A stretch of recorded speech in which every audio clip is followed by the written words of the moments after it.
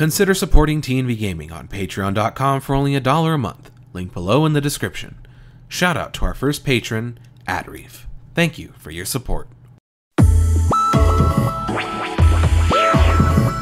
PlayStation is a story of success. Nearly all of their machines, from consoles to portables, have sold at least 80 million units or more, except for one, the PlayStation Vita.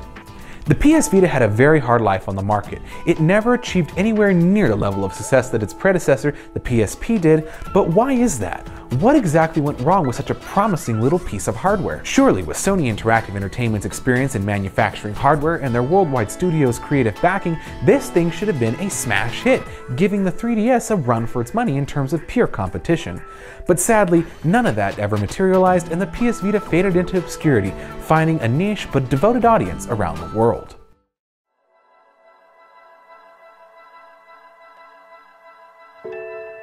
In 2004, Sony Computer Entertainment surprised the world with the announcement of their newest platform, the PlayStation Portable. It would go on sale that year in Japan with a worldwide rollout occurring the year after and would remain on sale until 2014. In that time frame, the PlayStation Portable sold over 82 million units between its four main revisions and its PSP Go variant, making it one of the greatest selling handhelds of all time and one of the first handhelds to greatly impact Nintendo's dominant market share. Naturally, after having a smash hit success, Sony Computer Entertainment wanted to take it one step further. In 2011, they announced their next portable PlayStation was in the works, and they were codenaming it NGP, or Next Generation Portable. The NGP was packed full of some of the latest and greatest technologies that the electronics giant could get its hands on. A 960 by 540p OLED 5-inch multi-touch sensitive screen, dual analog sticks, which was a first for the console's time, a rear touch pad, a quad-core ARM Cortex A9 CPU, 3G and Wi-Fi connectivity, 6-axis accelerometers for motion sensing, GPS, front and rear cameras for augmented reality, and all of these features were accessible through the new graphical user interface now known as the Live Area OS. Needless to say, the NGP was a very powerful device. The gaming world was excited to see what Sony could bring to the table, especially with the likes of Uncharted Golden Abyss being shown alongside along the console hardware. All of these games were not only well known and well received first party Sony IPs, but all of them looked fantastic, unlike anything the gaming world had seen on a portable device. But there was one catch. Sony Computer Entertainment announced that the NGP would be using proprietary flash memory cards with pricing available soon. Fast forward to the official 2011 launch date, and the NGP received its official name, the PlayStation Vita, and it was the first Sony branded hardware to deviate from the standard numeric scheme that players had become accustomed to at this point. On launch day, Sony Computer Entertainment would announce that there were 25 games that would be available on launch day, 8 of which were from their worldwide studios, and 17 of them were from third party developers that were either exclusive to the portable or multi platform games that could also be had on PlayStation 3 and other platforms at the time. The PlayStation Vita had one goal in mind AAA console gaming on the go with social connectivity accessible via the PlayStation Network. And at launch, between the available apps and launch titles, it gave players a glimpse on what may be possible not only for portable gaming, but on the PlayStation Vita. However, at the 11th hour, amongst all the excitement, Sony Computer Entertainment made a decision that would go on to haunt them for the rest of the console's future. They announced the proprietary memory card's prices. And this lone decision would turn away a lot of potential buyers, not only at launch, but for years to come. With a launch price of $249 US, the PlayStation Vita was certainly affordable, especially for its time. And the launch titles, while most of them were good, none of them were truly spectacular, with the exception being Uncharted Golden Abyss and few of them were able to convince the general public that the PlayStation Vita was worth the initial $249 launch price plus the $2,100 that it would cost for them to get a memory card. From launch well into 2013, Sony Computer Entertainment was backing the system heavily with both first party exclusive IPs and multi platform titles that can be had on the PS3 and other platforms at the same time. But there was one area that was generally failing, and that was marketing. Think about the most memorable PS Vita related commercial that was shown on the internet or on TV somewhere. Can you? Probably not. And that's the big issue here. As a business, it's very difficult to sell a product when most of the general public or gaming community that you're trying to appeal to don't even know what the item is about, or let alone that the item exists altogether. While the marketing was at best abysmal, software sales were beginning to slow, and that's because the hardware sales were slowing down even further. If no one has the hardware, they're not going to buy the software, and it's as simple as that. By this point, Sony sought to remedy the situation by introducing three new concepts that would attempt to unify the PS3, the PS Vita, and the PlayStation Network all together. And these three concepts included cross buy, the ability for players to play a PS3 game and get the PS Vita version included in the form of a digital download code, Crossplay, the ability for players to play online with others on both PS3 and PS Vita systems either together or simultaneously. And finally, the cross save feature, the ability for a user to save his or her game on his PS3 and pick up where he or she left off on the PS Vita system, or vice versa, and move it back and forth at a whim. And while a lot of these features were certainly firsts, especially for their time, hardly anybody knew that the PS3 and the PS Vita were both capable of this kind of interaction. And no one knew it was possible. So hardware sales continued to slow down, and the software sales continued to slow as well. Sony responded to this, not by doubling down on the marketing, but instead by slashing the system's price from $249.99 down to $199.99. And while the memory cards followed as well, compared to standard microSD cards that were available on the market from competitors, the system's cards were still vastly overpriced, thus deterring more potential buyers from getting a PlayStation Vita. Between 2014 to 2016 in the US and PAL territories, the PS Vita began to fade into obscurity, as hardware sales got to the slowest point in the console's life cycle and the retailers began to see the writing on the wall. So Sony needed to do something and fast.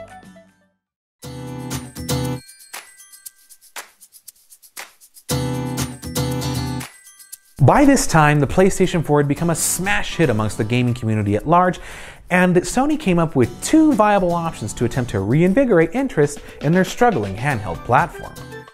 The first effort came in the form of a new app on Vita called Remote Play, and Sony tried selling the gaming audience that if they owned a PS4 and a PS Vita, you could remote play PS4 games anywhere in the world so long as both devices were connected to Wi Fi networks with sufficient upload and download speeds. Basically, the PS4 does all the heavy lifting in terms of processing and calculations and then streams the audio and video signal over to the PlayStation Vita system, thus taking the place of the player's DualShock 4. Now, because the PS Vita system is missing the L2, R2, L3, and R3 buttons, players would then have to utilize the front and back touchpads to make up for the missing buttons. Though some developers would actually take the time and program special remote play configurations for the button mapping, that way it would feel far more streamlined for players playing PS4 games through a PlayStation Vita system. So, what was the message? The PS Vita was now the ultimate companion device for the PlayStation 4, and they slowly began to back away from it being touted as its own individual platform. The problem was that the PS Vita system itself still cost almost $200 to get, and for most of the gaming community, $200 for a Vita plus $400 for a PlayStation 4, not counting any games or memory cards, just wasn't a viable option for a companion device.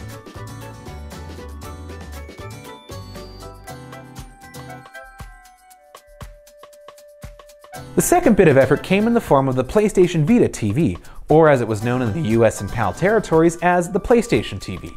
This was essentially a PlayStation Vita system without the screen, designed for players to play PS Vita games on the big screen using a DualShock 3 or DualShock 4 controller. On paper, the PlayStation TV sounds like a fantastic idea, being able to take your already existing PlayStation Vita library and play them on the big screen with a DualShock 3 or DualShock 4 controller. However, in reality, the system was released half-baked at best, as a large portion of some of the PS Vita's greatest games were whitelisted as incompatible because Sony never patched the system or the games to utilize the DualShock 4 to replace the missing touch interfaces, and the lack of cameras just permanently bricked some games from ever working on the PlayStation TV system. In addition, since the PlayStation TV was competing with the likes of the Roku TV, Apple TV, and other small multimedia boxes, you'd expect them to have multimedia apps like Netflix, Hulu, Vudu, YouTube, Crunchyroll, and others, right? Well, it did. The problem was is that nearly all of them were whitelisted as incompatible with the system for unknown reasons. And considering that the system had a max output resolution of 1080i in an era where 1080p TVs were the standard and 4K TVs were slowly approaching the market as mainstream, this system was clearly not built with the future in mind. So what was the end result? Absolutely no one bought the system. And since Sony of America and Europe decided to drop the PS Vita branding from this system, it showed how little faith they had in the PS Vita as a brand and a platform. And to make matters worse, it only confused the market as few people even know what this little box did. Some of them thought it was just a Roku TV or an Apple TV competitor. Others thought it was designed for PlayStation Now. But the reality was, was it could do all of that and play PlayStation Vita games through the top cartridge port. But because of Sony's piss poor marketing, no one knew. On top of an identity crisis, the PS Vita TV, or PlayStation TV, whichever name you want to call it, also used the same overpriced proprietary memory cards that the original PlayStation Vita system did instead of going with either a built-in solid state or USB flash memory. And this did not resonate well with the handful of people that decided to buy these in any of the territories. To add insult to injury, barely a year and a half after the PlayStation TV had its original launch date worldwide, Sony Interactive Entertainment announced they would be terminating PlayStation TV sales worldwide, and what few updates this system got outside of security patches and a few handful of games that got patched to work with the system ceased, and the system was left a half-baked mess to those who were unfortunate enough to buy it. That is, until 2016 when hackers came along and found out a way to lift the whitelist, thus, in theory, making all PlayStation Vita games compatible with the system. To this day, a lot of PS TV owners, or PS Vita TV owners, depending on what territory you live in, are waiting on hackers and programmers from the homebrew communities to develop code that will properly utilize the DualShock 4's front touchpad to take the place of the two touchpads that were found on the PS Vita system, thus, in theory, making more games available and compatible to owners of this particular microconsole. However, there will never come a point where all the games will work, as some games like Uncharted Golden Abyss and Tearaway utilize the PS Vita's cameras. And since the PlayStation TV has no way for the players to plug in a PlayStation camera or even a PlayStation Eye camera, you can technically play the games up to a certain point, but when the game requires a camera, it will either just crash or brick the system entirely. By this point, what little effort Sony of America and Europe were giving the PS Vita had ceased, and retailers had saw the writing on the wall. So they began clearancing out all PS Vita related hardware and games simply to make more room for PS3 and PS4 games, thus sealing the system's fate, at least from a retail perspective, in the US in PAL regions. For the most part. While major retailers like Target, Walmart, and Best Buy clearanced out all of their PS Vita merchandise and made room for the better selling PS3 and PS4 merchandise, Others, like GameStop or EB Games, depending on where you live, Amazon.com, and PlayAsia continue to sell PS Vita games and hardware. And it's through these three major online retailers that the PlayStation Vita's devoted and small audiences continue to get their fix for newly released PlayStation Vita games, even to this day. By this time, a very strange phenomenon had occurred, and it's one that I've never experienced or witnessed in the interactive entertainment business up until this point. While the PS Vita died in the US and PAL regions from a retail perspective, in the Japan Asia territories, the system began to sell and grow in terms of popularity. This phenomenon is one of a kind because as Sony Interactive Entertainment America and Europe did their absolute best to brush the PS Vita under the rug and pretend that the system never existed Except for one point in PSX during 2016 with the EZ8 announcement, Sony of Japan continued to market, support, and release new limited edition variants of the hardware. As this happened, third parties continued developing games that appeal to the players in the territories, thus moving units. Even to this day, amongst newer and far more powerful handheld hybrid launches, the PlayStation Vita is still being displayed on jp.playstation.com right alongside the PS4, the PS4 Pro, and even the PlayStation VR. Meanwhile, on the other territories' websites, you have to scroll through countless menus just to find a PS Vita page that hasn't been updated in years, or in the case of the EU PlayStation site, pages that have been removed entirely and can't be found unless you go through the Internet Archive machine.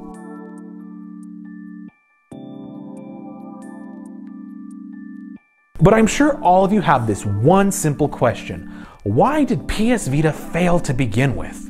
While Sony's abysmal marketing was a heavy factor in what led to this handheld and microconsole's demise, it wasn't the sole reason. As I mentioned, the PS Vita's proprietary memory cards deterred a lot of potential buyers and continue to do so to this day.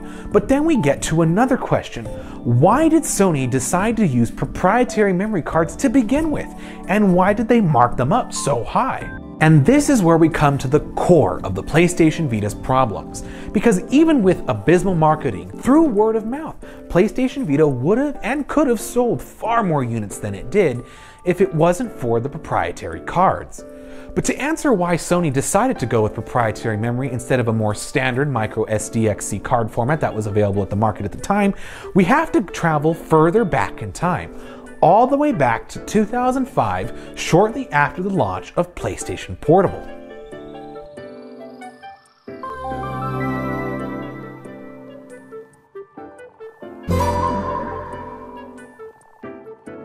In 2005, barely one year after the launch of PlayStation Portable, hackers from around the world discovered exploits that allow them to run unassigned and unofficial code on any PSP system running firmware 1.00 to 1.50.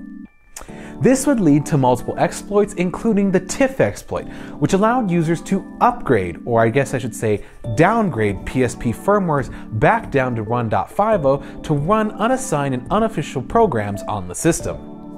Shortly after hackers found a way to run custom software on any PSP system, the question soon came. Was it possible to run any PlayStation Portable game, a copied version, off the Memory Stick Pro Duo card itself instead of running it off of the Universal Media Disc or UMD? The answer, unfortunately, was yes. Now keep this in mind. All hardware manufacturers, Sony Interactive Entertainment included, manufacture and sell their hardware at a loss and depend on software to make up those losses. If Sony can't sell the software, they can't manufacture the hardware or make more games. If they can't sell games, they can't support the system. And in the end, the players, those who invested in the ecosystem, are the ones that end up getting hurt in the long run.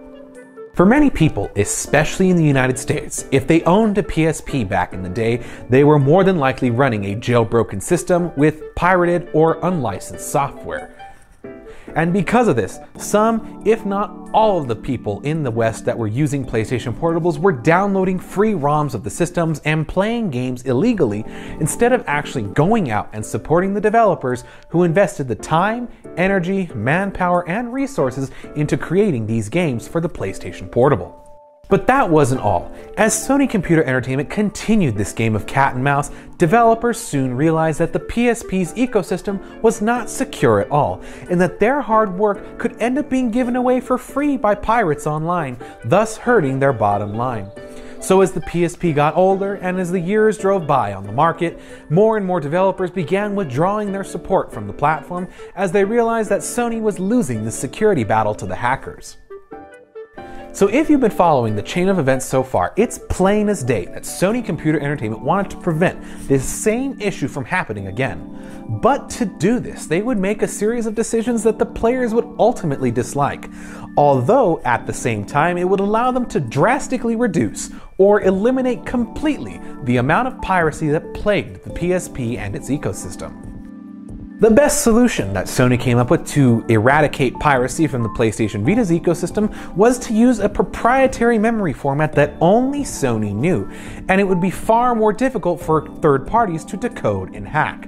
They also realized that by tying the game's save data to the game data itself, it could in theory prevent pirates or cheaters from sharing the save data and cheating their way through the games in the same manner that they did on the PlayStation Portable.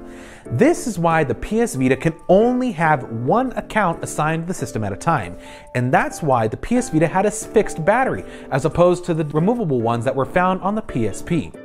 All of these decisions were consciously made to prevent and minimize the amount of exploits that were available to potentially deter hackers from jailbreaking the PlayStation Vita system.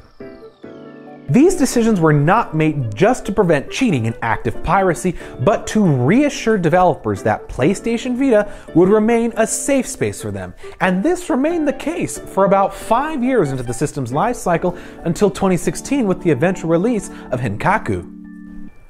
For almost five years, PlayStation Vita as a platform remained a safe space for developers to make games as Sony had the security down like Fort Knox which was great for developers. But because they decided to mark up the prices of the proprietary memory cards, it didn't help because players weren't actively buying the system.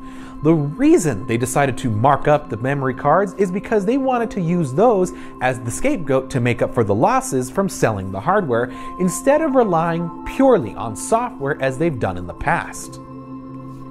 I can't help but think that if Sony had competitively priced the memory cards compared to standard models on the market at the time, that players would not have minded having to buy a proprietary card so long as it was guaranteed to work with their system. On the flip side, developers would have had confidence in developing new titles for the PlayStation Vita system, knowing that the piracy and plague of issues that were rampant from the homebrew community had been completely eradicated this time around.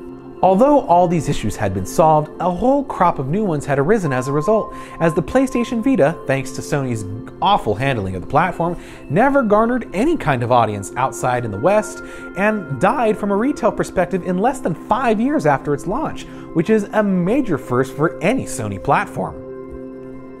So I think it's easy for people to see at this point that PlayStation Vita was designed to be a mighty successor to the PSP, but at the same time be the antithesis of everything the PlayStation Portable stood for, as Sony wanted to bring AAA console gaming on the go, social connectivity, streamlined access to the PlayStation Network, while at the same time eradicating piracy completely to assure developers that PlayStation Vita would be a safe platform to develop for.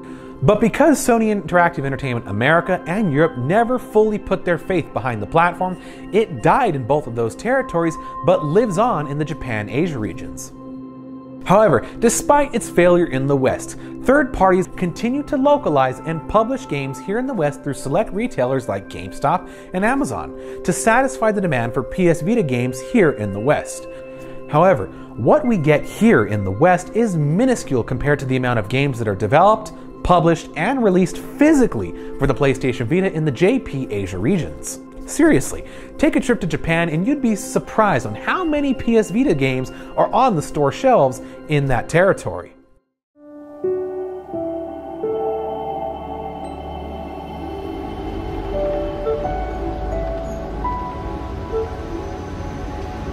The PS Vita leaves behind an interesting legacy, to put it lightly. It's a legacy full of innovation, grand ideas, and broken dreams, as the PlayStation Vita never performed to the same levels that the PSP did, and to this day remains Sony's worst selling platform to date out of their entire dynasty of systems. But whether or not we'll ever see a PS Vita and PSP successor, we'll have to wait and see, as I hope that one day Sony will release a handheld that can truly live up to the PlayStation name in the same way that the PlayStation 4 and PS4 Pro have.